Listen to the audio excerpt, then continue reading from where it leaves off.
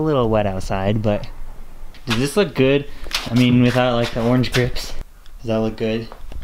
Okay, I'm switching my front rim because listen. Loose bearings and that bothers me.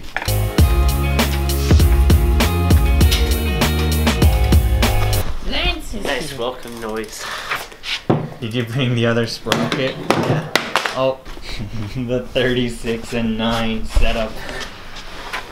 Beautiful. It's fast. You go fast. Yeah. The. There we go. It's on now.